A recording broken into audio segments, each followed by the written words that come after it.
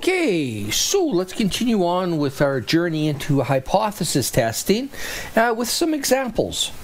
So let's look at example number one here.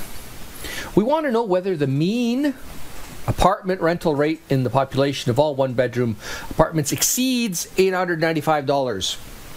Uh, okay, so mean, right, means, okay, we're finding the mean. Is that mean exceeds? We think of the word gr greater than, okay? So step one, we want to know what's our HO and our HA. Now, exceeds, uh, that's, that's greater than. Anything suggest that it's greater than or equal to? No, nope. So we just a mu, which is our population parameter, a Greek letter for mean, exceeds, means greater than 895. HO is just the opposite. So mu, our population parameter, the mean of concern here, less than or equal to 895. Okay, so it's important that we label the statements HO and HA. It's important that we also have a um, population parameter that we're measuring or testing. Step two, what's our alpha? Now, nothing in here. Do we have okay so so here no alpha mentioned so we pick a reasonable alpha. Uh, alphas are typically numbers between uh, 0.10 and uh, 0.01 so somewhere in between there is generally considered to be a reasonable alpha. Just for randomness that's 0.02 okay again, you know, a lot of lot of thinking can go behind that uh, step two. What's what's an appropriate alpha, uh, and and sort of balancing the issues of type one and type two error and so on. Uh, won't get too overwhelmed with that just now. Step three is our test statistic. Okay, now we we note that. Uh, we're given a population standard deviation, and that population standard deviation is 225. So we have a population standard deviation. So we're going to, our test statistic is going to be around the Z statistic. And that Z is going to equal to population mean minus mu zero, okay, divided by sigma over the square root of n. Okay? so there's going to be our test statistic. Okay, now all that we've written out and we really haven't taken a sample yet, right? We can do all that. We can, and, and, and it's appropriate that we state our hypothesis and, and pick an alpha before we even actually do the samples, just so that we're not massaging uh, the, uh, the results, you know, massaging what we get to get a, a certain result, right? So we've done all this. We don't even have a lick of data. So now we run, we do some sampling, you know, we do that uh, good old grunt uh, stats work, and we get some results. Okay, so now we're able to use these results to calculate our, our test statistic. So that Z is uh, X bar, what is that? $915. Nine one five minus mu zero.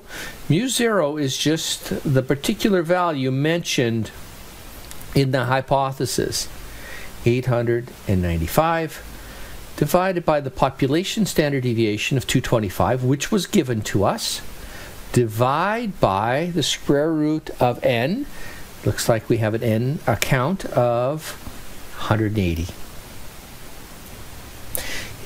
run through the math and we get uh, a z score of 1.19257 okay so there's our step three now we're able to take that step three, leverage it into step four.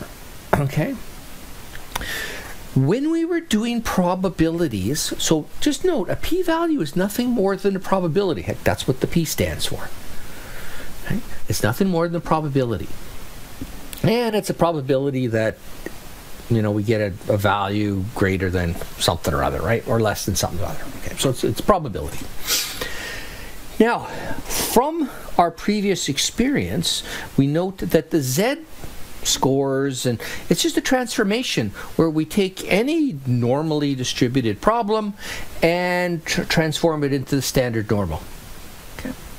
So with that, when we start to look at uh, step four, the calculation for the p-value, it's all centered around the sign in HA.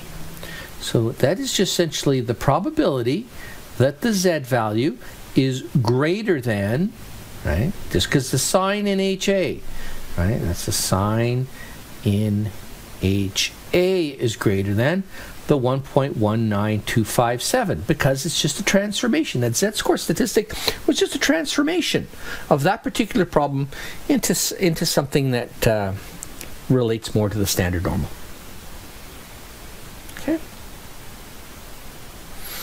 So now we do our, our probability calculation. And we do our probability calculation in the same way we were doing probability calculations uh, before.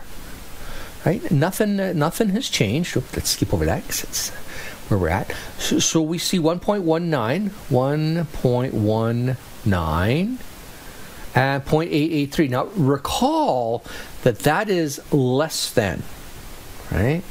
So we have on our table the probability that z is less than 1.19, and this in this case just 1.9. right? And that equals 2.883. Eight three. So if we want the probability that z is greater than 1.19, we're going to go 1 minus the probability it's less than, and in that particular case you get 1 uh, 0.0117. Okay. Now we could easily have pulled over our, our, our Excel sheet right, and visited our good old friend uh, Norm. Right, let's go down to Norm. Norm. Uh, and then we'll just go with uh, uh, Norm's dist. Norm dot S dot dist. Okay. Now that takes our stand our normal. Uh, so it, you can see in the arguments it asks for a z and whether it's cumulative. So our z score is 1.19, and because we're using Excel, we can go with all of it. And then cumulative just means one. You never want, as we saw before, we don't really care about situation where it's not.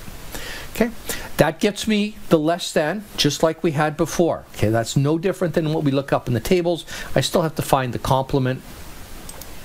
I one minus that particular cell, and I get to the same spot. Okay. Oh, both both pretty quick, right? Both pretty quick and, and relatively painless.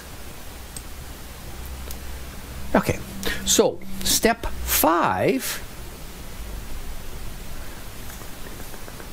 we have that rule, right? Is P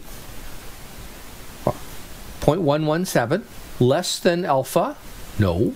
P is greater than alpha. P is greater than alpha. Therefore, my little three dots, the risk of rejecting H naught is too high. Our probability of committing a type 1 error would be 11.7%. We're only willing to commit a type 1 error 2% of the time. Way too risky for us. We say, okay, thanks, but no thanks. Therefore, we do not reject HO with uh, alpha equal to 0.02. Okay. And then step six if we did not reject H naught, what do we conclude? Well, it, it, it depends. We don't want to say anything that suggests that we have accepted HO, so we just say we've we've not we've not accepted HA, crossed it out. So essentially, we'll say whatever is in HA, not likely. Okay. So therefore, in step six, we can conclude that the mean or average, whatever, right? Let's go with average. We'll keep it simpler. Average rent does not exceed $895, right? We've just essentially said whatever's in HA, it ain't that. Okay? Yes, I know it's almost the same as saying it's it's probably it's it's less than or equal to 895, but sometimes that runs afoul of the whole accept HO kind of thing. And yeah, we hate that. Okay? So, not too bad. Wait, so that one's done. Let's go do another example in the next clip.